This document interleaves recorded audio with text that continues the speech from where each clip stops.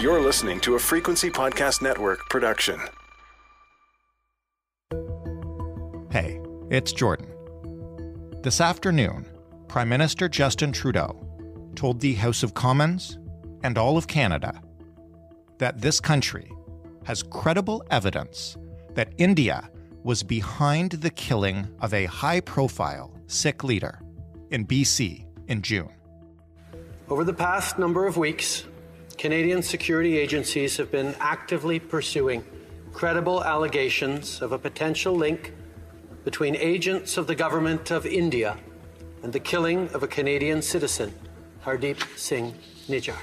This evening, we are resharing with you an episode that we published in June, a few days after the murder of Hardeep Singh Nijjar, a well known community leader and pro Khalistan activist who the Indian government had previously accused of terror offenses. It's a shocking revelation and throws the future of Canada and India's relationship into utter turmoil. There were questions when the murder happened about if the Indian government could have been involved. Canada now says it has those answers. In the wake of Trudeau's speech, the Minister of Foreign Affairs announced that an Indian diplomat had already been expelled from Canada. It remains to be seen what further actions or retaliations will occur in the coming days. For now, it's important to examine the circumstances behind this killing, the extent of the devastation it caused in the community, and to learn a little more about the man at the center of this diplomatic bombshell. So here's that episode. A murder in broad daylight is always shocking, but a targeted killing outside of a crowded temple that has left a community leader dead and geopolitical tensions rising means that reactions have gone well beyond just shock.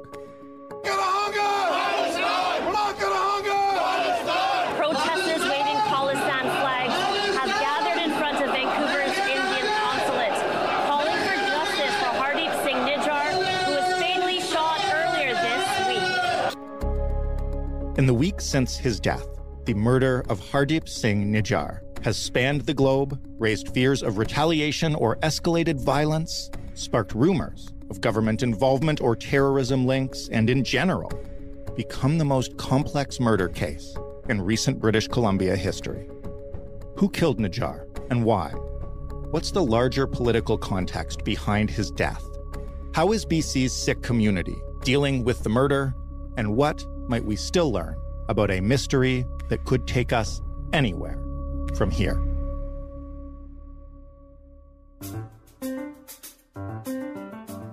I'm Jordan Heath Rawlings. This is The Big Story.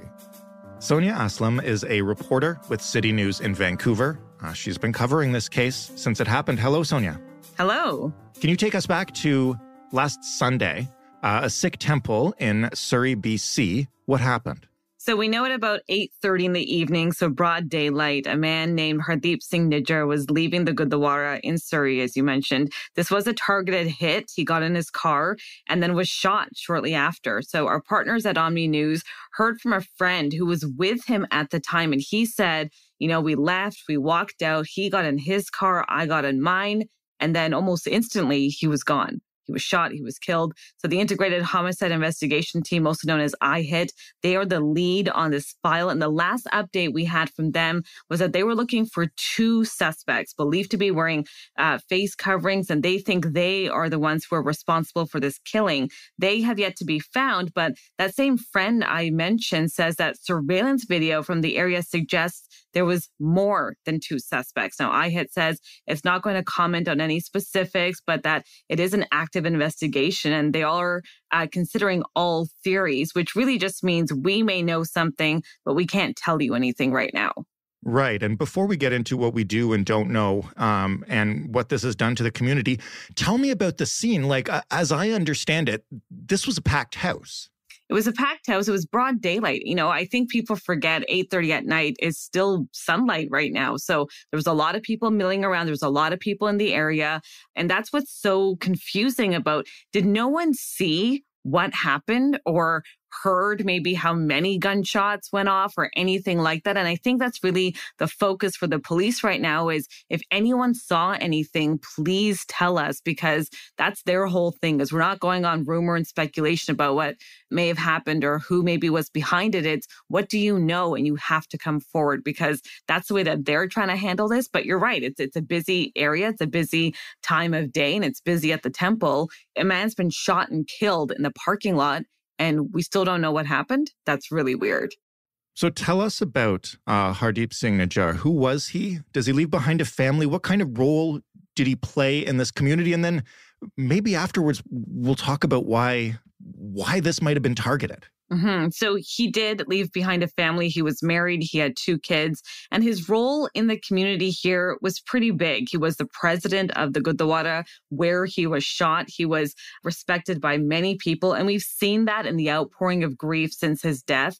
I mean, his funeral was held a week after his shooting, and there were hundreds and hundreds of people. So many people showed up that traffic stopped. And where this temple is in Surrey is a busy thoroughfare. It's a major road in Surrey, and having that shut down is a big deal, obviously, for more than one reason. So many people were crying. Emotions are running high. Many people had their faces and their hands bent over, weeping, weeping very loudly. And the other thing to keep in mind here is he was pretty young. He was 45. Mm. So definitely his death has really struck a chord with people, especially those who attend services at the temple. You really get the sense of just how close knit everyone is. People looked up to him, and the loss that's being felt is coming across as huge. It's it's a huge hole that's been left behind. And people also rallied at the Indian consulate in Vancouver the same day of his funeral. So it's not something that's just being felt in one community. It's not just being felt in Surrey.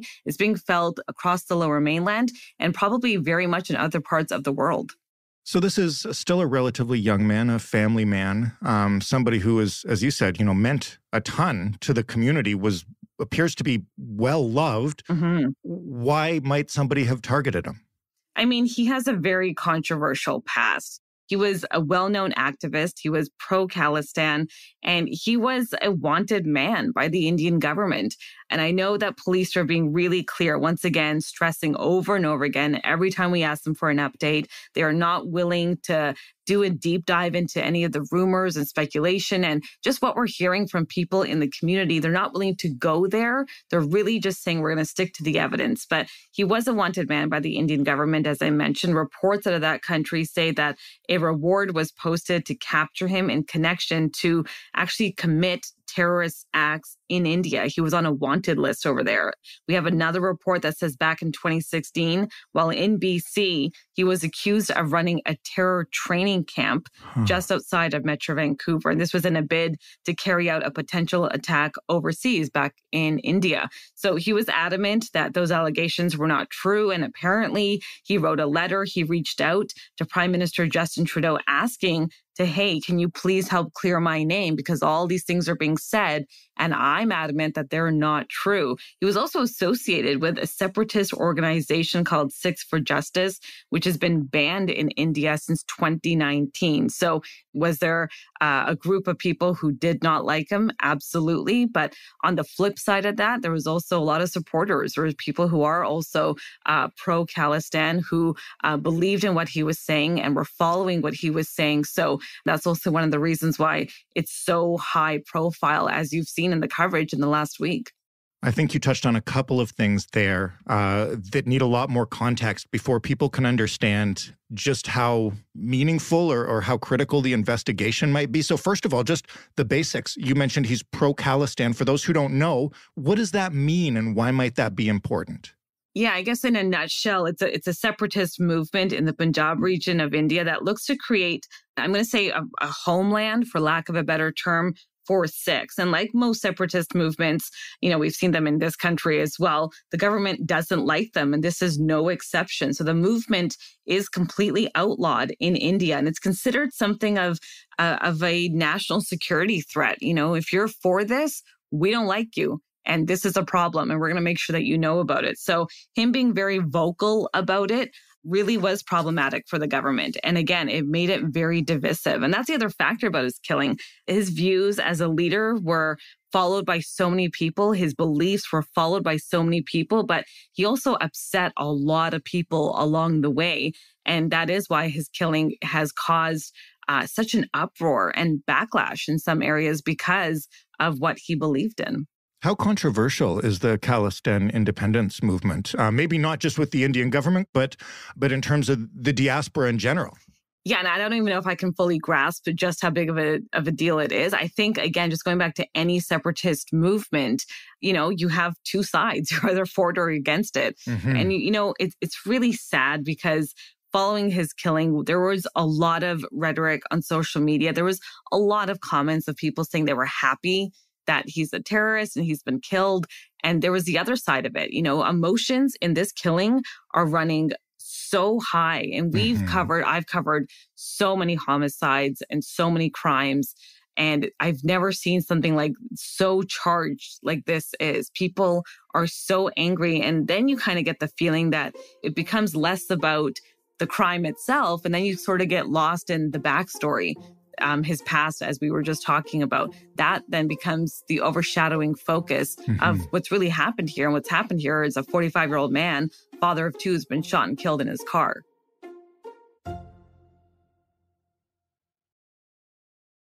So, in a minute, we can get into the investigation. I know it's ongoing. I know there will be some things that the Mounties won't talk about, but how are they grappling with uh, the substantial, I guess, geopolitical angle of this case? Are they confronting it? Is it changing what they are doing? What do we know about that? I don't know if it's changing what they're doing because, as we know with typical police investigations in this country, they don't tell us a lot.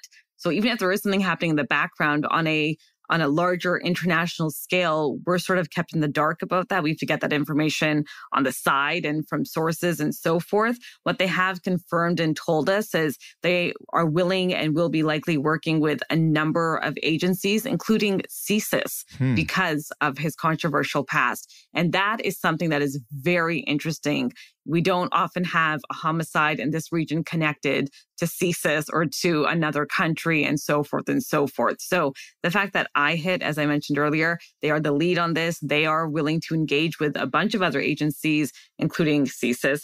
That's a really big deal. And I think for them, it's just trying to keep their cards as close to their chest as they can. So because there's been so much outpouring of both support and anger and frustration it's best if I think from their point of view to just keep the updates to a minimum. And we've had one update. It was again very emotionally charged. Police were pretty blunt. You know, they called the killing disgusting and appalling. It's in a busy place of worship. This should not be happening to this community or to any community for that matter. But for mm-hmm. them, it's just begging for witnesses to come forward.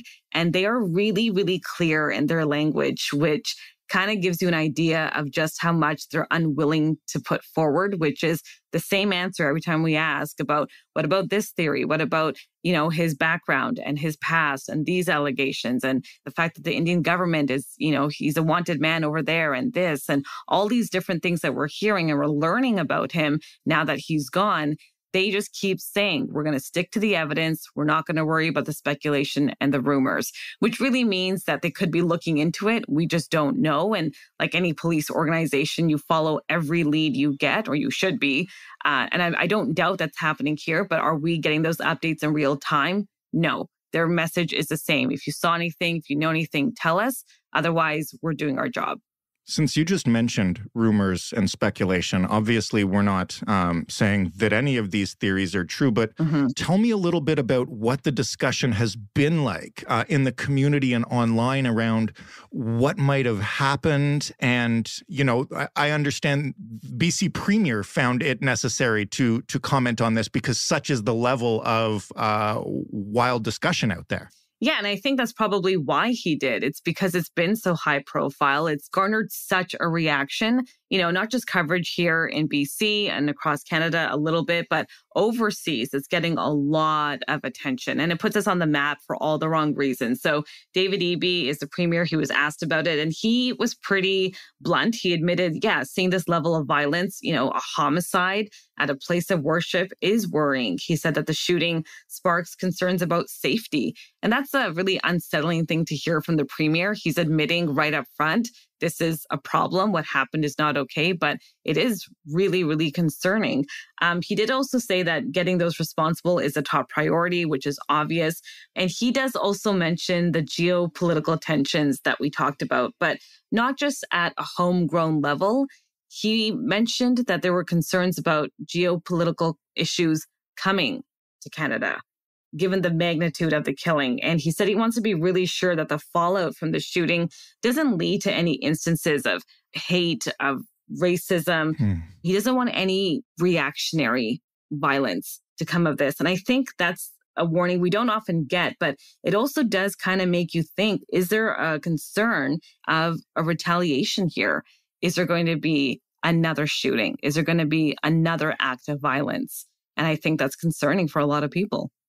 As the details start to come out sort of in, in dribs and drabs, as is usually the case uh, for most murder investigations, probably especially so for one like this, mm-hmm. what kinds of stuff are we learning about whether or not Nijjar may have been uh, warned ahead of time or, or might have suspected that he might be targeted? I've seen reports that uh, CSIS may have warned him that something was up? That was one of the questions that was taken to IHIT and to investigators that if CSIS was already involved and you knew of these warnings, why was nothing done? Because oftentimes, and I don't know if everyone knows this, when we have, say, a gang shooting and the the person who's killed is targeted, oftentimes police know this person is next hmm. or is among those who could be killed and steps are taken to warn that person. And it's on them whether or not they want to leave the region or what whatever they want to do. But again investigators haven't told us how much was known how much wasn't known and what he knew what was being done about it. Was there extra security? To my knowledge i don't think there was extra security at the temple. Right. Uh, and I can't speak, obviously, whether or not he had his own extra security on hand, but I've seen those same reports that this wasn't a sudden thing. There were people in the know who knew this was coming. Do we expect that there may be, or I guess already have been, diplomatic conversations between Canada uh, and India based on this killing? You know, has it risen to that level where, you know, senior government officials have to discuss it? Uh, I don't know if there's been uh, a discussion necessarily between the Canadian government and between the Indian government. I do know that on the day of his funeral, we did get word that there has been a meeting with the federal public safety minister, Marco Mendicino, and the Sikh Liberal Caucus. They wanted to talk about this because what they're calling a very tragic killing. And I think that also puts them in touch with the community on the front lines. You know, uh, his funeral again had hundreds and hundreds of people. They need to be tapped into what's going on here. Mm-hmm. This does have international uh, potential consequences. So the fact that Marco Mendicino is involved in these meetings and it has risen to that level, again, I think speaks volumes about just the gravity of the case that we're dealing with. So, last question then. In terms of the investigation itself, I know police are, you know, quote unquote, pursuing everything, tight lipped, uh, investigations ongoing, all of that. What are we waiting for next? I know obviously everyone wants to know who did it and see if anyone will be charged, but what other questions are out there that that we don't have answers to yet? I mean, I think the theme of our conversation so far has been why? Yeah. Is it his past? Is it something else? Is it the stuff he stood for or his beliefs? Is there something else that's going on in the background that isn't public just yet? So, and I know we so often get the motive very rarely at the beginning of an investigation. And this is not very long and we're only a week in but um, that is a big one is why was he killed? And i think once investigators get that it will also help figure out what could potentially happen next. And i mentioned retaliation. I don't think honestly that that's out of the realm of possibility. I think that is something that is definitely on the table uh, for RCMP, for IHIT, that because something like this happened and this is such a big deal, that is our next concern. While also trying to find those responsible, could those who are responsible be planning another hit? Is there something else that could be coming down? And I think once you start to get those pieces slowly coming together, other pieces of this puzzle will fall into place. But this investigation, from what we can tell so far, it definitely, definitely looks like it's going to be a very long one. Sonia, thank you uh, for helping explain this really complicated story. Thank you. Sonia Aslam, reporting for City News, Vancouver. That was the big story. For more, you can head to thebigstorypodcast.ca. And as always, get in touch with us if you have anything to say positive, negative, suggestions, questions, whatever.